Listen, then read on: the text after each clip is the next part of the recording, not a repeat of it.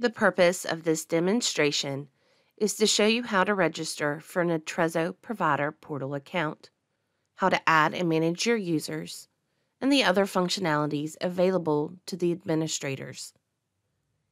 Each provider group will want to designate a provider group administrator to create the registration of the account. That person will then be able to add and manage users for that provider group. The registration can only be completed once. Please be sure that you discuss this internally among your staff and supervisors. If you already have a provider portal user account, you can add your MPI to that existing account. From the login screen, you will need to register. In the center of the screen, it says if you don't already have a Kepro account, you can register here. You will click Register here. You will then enter your MPI number and the provider registration code. To obtain the provider registration code, you will need to contact the Customer Support Center. Once again, to obtain the provider registration code, you will contact the Customer Support Center. Then you will click Next. You will then create a username. The system will notify you right away if that username is available or unavailable. You will then enter the required fields that are indicated by the red asterisk. So you will complete the first name, the last name, the email address. You will then confirm your email and enter your fax number. Then click Next. Your registration has been successful. You will now receive an email, and that email will walk you through the remaining processes to complete registration. Here is the email with the Atrezzo registration link. Once you complete the initial registration steps, you only have 20 minutes to complete the rest of the registration process. Once again, you will only have 20 minutes to complete the rest of the registration process. Once you receive the email, you will click Atrezzo Registration. This will bring you to another page where you will then create your multi-factor authentication information. This is an added layer of protection and allows us to know you are who you say you are. There is a lot of PHI in the system, and this helps keep all that information safe. This is a similar process as you may be used to when logging into your banking or credit card account. You have two options to choose from. You can log in with phone, or you can log in with email. It is important to know that when you select your login method, you are choosing how you will receive your verification code.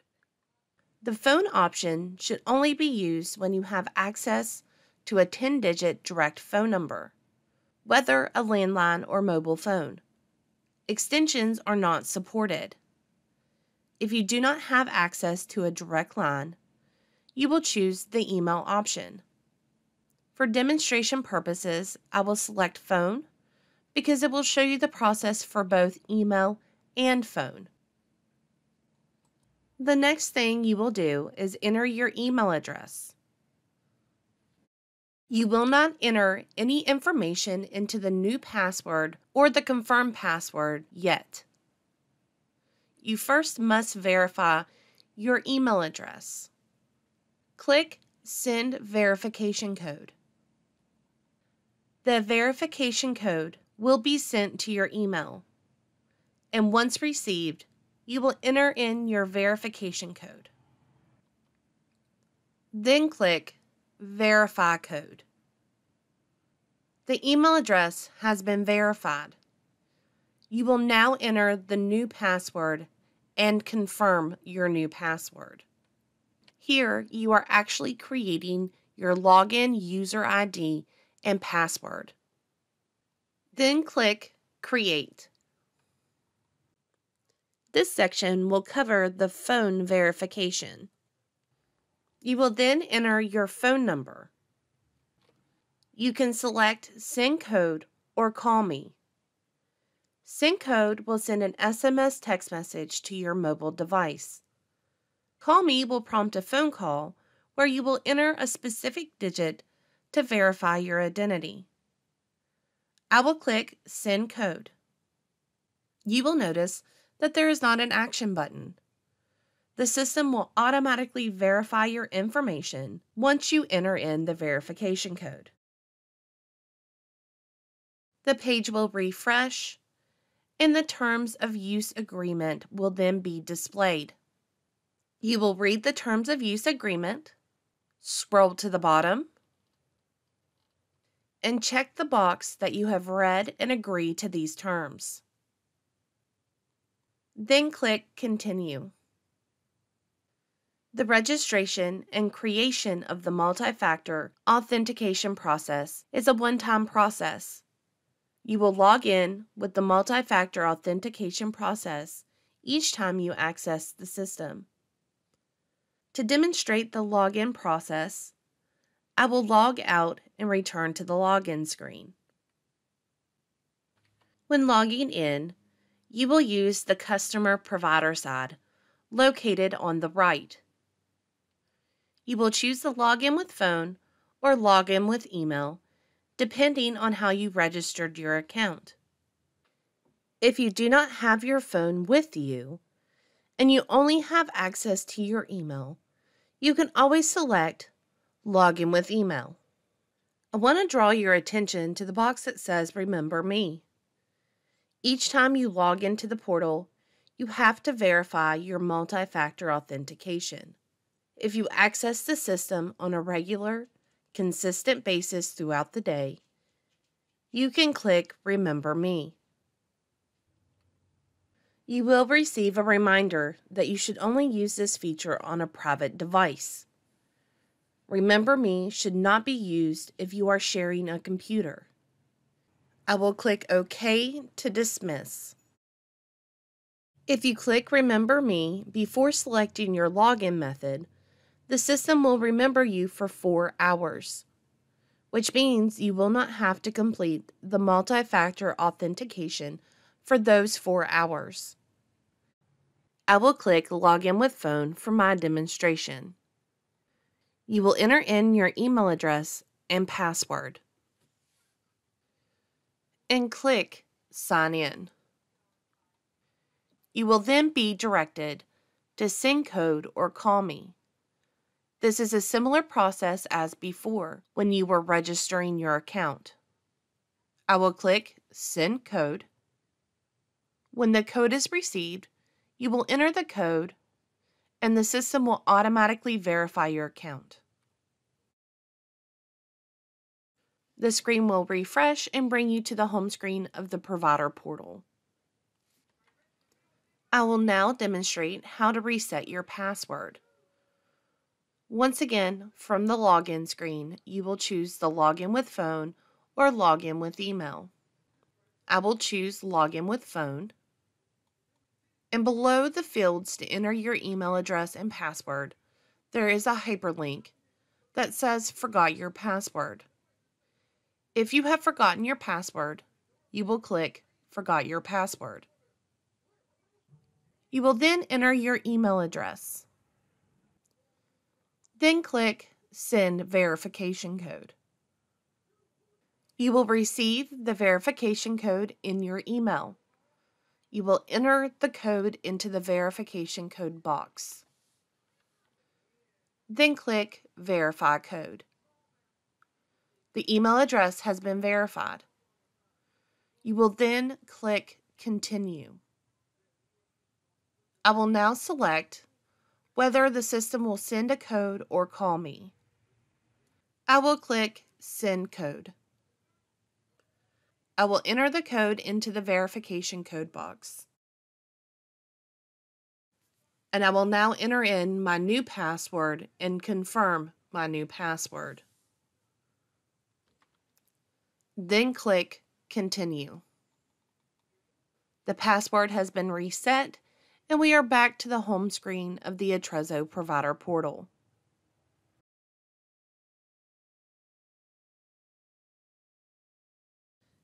I will now begin the demonstration of the administrative role and how to add and manage users.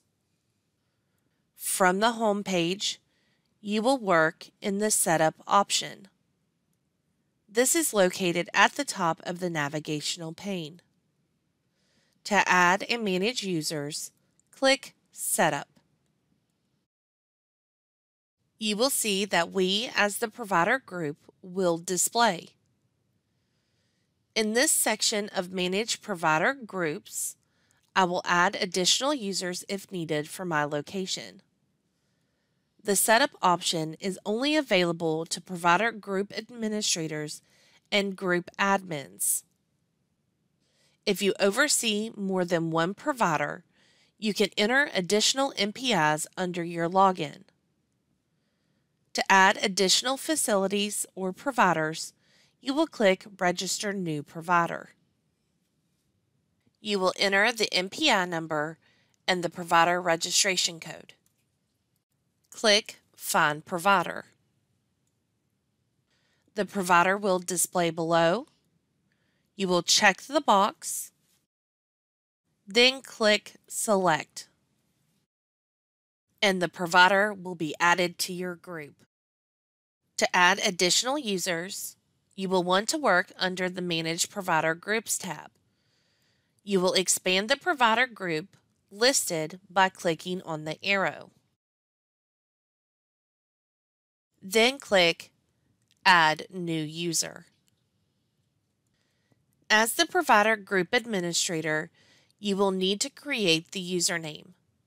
If the username is available, you will receive an indicator right away that the username is available. If you select a username that is already in use, you will receive an indicator that the username is unavailable. You will now complete the required fields for the user.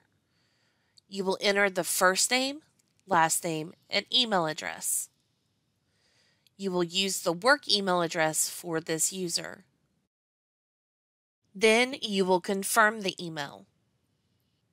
You will enter the fax number for this user. Please note that this does not have to be an individual fax number this can be the fax number for your group. Click Create. The user will be added. Under Manage Users, you will be able to see all the users that have been added to your group. To add additional users, you will navigate back to Manage Provider Groups. Expand the group by clicking on the arrow and click Add New User. You will complete the required information, then click Create. And the user has been added. I will return to Manage Provider Groups and expand the group by clicking on the arrow. Once all users have been added, they will be listed at the bottom the role will automatically default to provider staff account. The provider staff account is a general user account. These users can enter prior authorization requests into the portal as well as view determination letters, obtain status updates, and message with the Utilization Management Review Team as needed. The Provider Group Administrator has permissions to add and manage users for that provider group. If you would like to add additional administrators, you would select the user role from the dropdown. Then select Provider Admin or Provider Group Admin. The Provider Group Admin has the ability to add and manage users for all the providers in the group. If there are multiple provider groups being managed by one account, you would want to select Provider Group Admin. The Provider Admin role has the ability to add and manage users, but for only the one provider they are associated with as the provider admin. Email addresses and usernames can only be used once. The Atrezzo Provider Portal will allow us to add users to as many locations as necessary by the group administrator. To add a user to one of the locations listed within my group, you will click on the Available Users dropdown and select the user. Click Add, and the user will be added to this location. The user role defaults to provider staff account, and you can change the role by clicking on the dropdown. If you have a user that no longer needs access to this location and you need to remove them, you can click on the trash can. You will receive an alert that you are about to remove this user. Are you sure? Click Confirm to remove. And the user has been removed. All of this is completed under the Manage Provider groups. Now we are going to move over to Manage Users. In order to manage a user, you will expand that user by clicking on the arrow. Here we have the ability to make an update if an email address or fax number has changed. You will click on the pencil icon to edit the user. If the user needs assistance with resetting their multi-factor authentication, this would be done if their email address or phone number has changed or if the user did not activate their multi-factor authentication within two days. You will click Reset Registration, and it will remove all association with the multi-factor authentication account. You will click OK to verify. And it will remove all associations with the multi-factor authentication account. The user will receive an email that their credentials have been reset, and they will be provided with a link to complete the registration process. They must complete the multi factor authentication registration within two days. Under Contact Information, additional information can be added or updated as needed. You will notice that there is not a Save button on this page. If you add an address for this user, when you click out of the box, that information will automatically save. Once you have completed all the changes for the account, you can close the section by clicking on the arrow. When we expand it, we will be able to see the information as well as the providers that this user is associated with. You can also select the user role here under Manage Users. However, to add a new user, you have to work under the Manage Provider Groups tab. This ensures that the users are added to the appropriate provider. Once all users have been added to the provider account, they will receive an email to complete the multi factor authentication registration process. This process will look the same as what was previously demonstrated in the video. They will begin with a link in their email, then they are given the option to register with phone or register with email. The process of adding and managing users will only need to be completed for any new users that need to be added to the provider account. When a user is no longer active or no longer needs access to the provider account, the provider group administrator can remove them.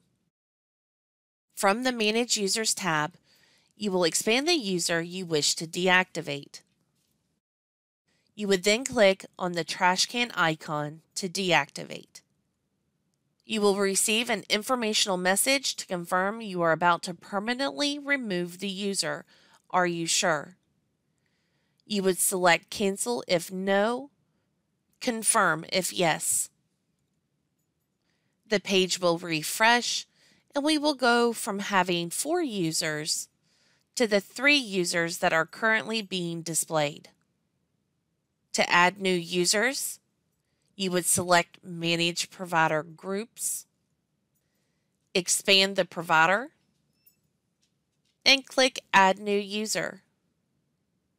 You would enter the required fields and then click Create. This process would be repeated for each user you need added to this provider account. I will now demonstrate another functionality that is only available to administrators. In the navigational pane, click Preferences.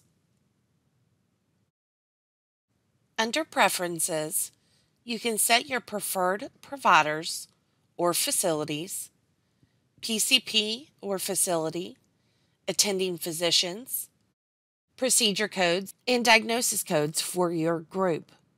For my example, I will expand out procedure code by clicking on the arrow. You will select your code type from the drop-down box. For my example, I will choose CPT.